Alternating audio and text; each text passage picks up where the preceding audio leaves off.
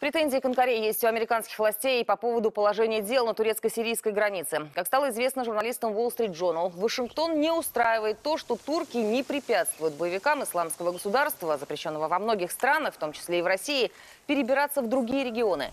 Издание приводит слова представителя администрации США. Турция должна залатать дыры на границе, разместив вдоль нее дополнительные воинские подразделения. Правила игры изменились. Хватит, значит хватит. Границу следует закрыть. Имеет место угроза международного масштаба. Она исходит из Сирии и проходит через территорию Турции.